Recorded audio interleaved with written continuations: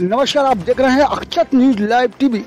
Panchmukhi Hanuman Ashram Nandi Gaushala cantt गुना पर राष्ट्रवादी योद्धा संगठन के द्वारा सनातन धर्म के प्रति बच्चों को जागरूक करने के लिए एक गुरुकुल का शुभारंभ किया गया। इसमें छोटे छोटे बच्चों को भगवान आराध्य श्री राम, श्री कृष्ण और हमारे देश के वीर सपूत, महाराणा प्रताप पृथ्वीराज चौहान जैसे महापुरुषों की कथा एवं उनकी विस्तृत जानकारी देकर सनातन धर्म के प्रति बच्चों को संस्कार, अनुशासन और जागरूक करना है।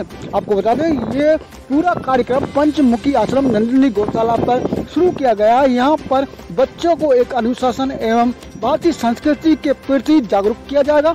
उनको बताया जाएगा कि हमारे वीर सपूत, वीर योद्धा किस तरह से थे, उनकी जीवनी के बारे में उनको जानकारी दी जाएगी।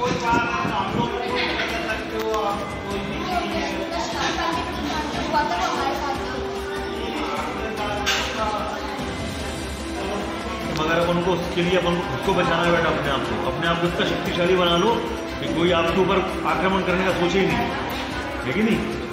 अब हनुमान जी महाराज, जैसे अभी विक्रांत अंकल बता रहे थे हनुमान जी महाराज की किसी को भी शक्ति की आवश्यकता पड़ती तो अपन क्या? जय श्री राम जय वीर हनुमान, जय महाकाल बोलते ना तो वो इसीलिए होता है। शक्तिशाली। जय जय श्री राम जैसा कि आप देख रहे हैं आज पंचमुखी आश्रम पर हमारे साथ नए युवा शक्ति और वरिष्ठ अध्यापक जो कि राष्ट्रीय योद्धा संगठन से राष्ट्रवादी राष्ट्रवादी योद्धा संगठन से पंचमुखी आश्रम पे सनातन धर्म की ओर बढ़ते हुए नई नई कथाएँ और वीर सपूतों के लिए और राम, लक्ष्मण उनके चरित्रों की विस्तृत जानकारी देते हैं और बच्चों में सनातन धर्म की और नींव डाल रहे हैं। तो आइए हम उनसे चर्चा करते हैं। ये हमारा एक संगठन है, जिसका नाम है राष्ट्रवादी संघ। संघ की तरफ़ से हम लोगों ने एक छोटी सी पहल करी है कि हमारी जो आज की जो पीढ़ी है, जो बच्चे वगैरह हैं, उनमें हमारे भारतीय संस्कारों को डाला जाए। उनको सान, अपनी जो सनातन संस्कृति है, उसके बारे में जानकारी दी जाए। तो इसीलिए हमने यहाँ पे पंचमुखी हनुमान मंदिर पे एक बाल संस्कार शाला का आयोजन जो आज चौथा रविवार है, तीन रविवार पहले से हमने इसको किया था चालू, जिसमें कि हमारे आठ साल से लेकर और चौदह से पंद्रह साल तक के बच्चों को बुला के लाते हैं, लेके आते हैं सभी लोग। हम लोग प्रयास करते हैं पूरे सात दिन तक भाई इन इन बच्चों से अपन को संपर्क करना और उनको लेके आना है।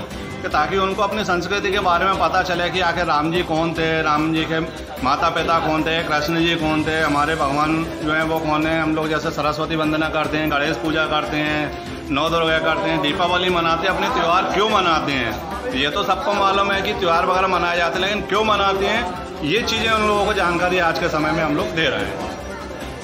जैसा कि भैया जी ने बहुत सुंदर बात बताई है कि ये सनातन धर्म में श्री, हमारे आराध्य श्री राम भगवान जी, श्री कृष्ण की उनकी कथाएँ सुना के उनके परिवार और उनकी लीलाएँ जो उन्होंने घटित की हैं, उनके बारे में विस्तृत जानकारी देते हैं। हमारे साथ कुछ बच्चे नन्हे मुन्ने बच्चे, जो कि बड़ी हर्ष और उल्लास से आए हुए आप देख सकते हैं। आप कुछ बोलना चाहेंगे?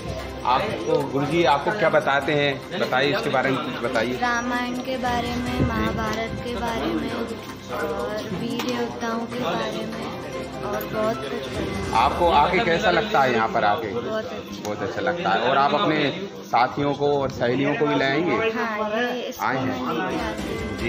चलो बहुत बढ़िया। आप कुछ बोलना चाहेंगे? बताइए आप। आपको कैसा लगता है यहाँ पर? अच्छा लगता है। क्या क्या बताते हैं गुरु जी रामायण महाभारत। महाराणा प्रताप के बारे में बताया? महाराणा प्रताप पृथ्वीराज चौहान के अच्छा बारे अच्छा में बताया